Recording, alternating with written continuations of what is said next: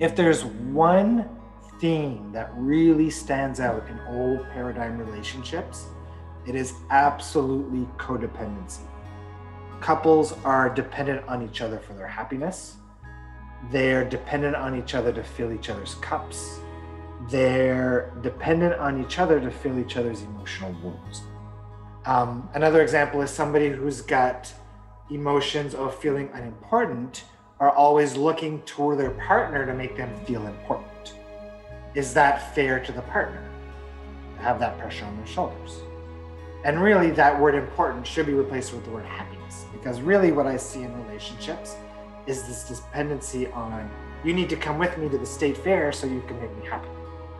It's filled with people compromising themselves to keep their partner happy. Do you guys think that's a healthy dynamic?